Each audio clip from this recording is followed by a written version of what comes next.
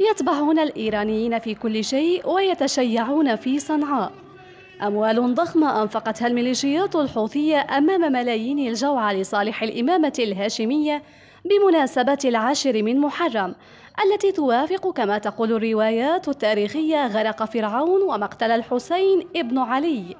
ملياري ريال تكاليف الفعالية في صنعاء وتوزيع للباس الأسود والعمائم واللطميات وجلسات حسينية في منازل القيادة الحوثية.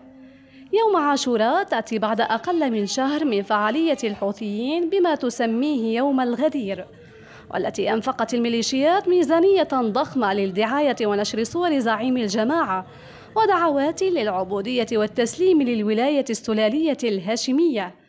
كما وزعت المنشورات والصور على كامل النطاق الذي تسيطر عليه ميليشيات الحوثي المتمردة بصنعاء ومحافظات أخرى.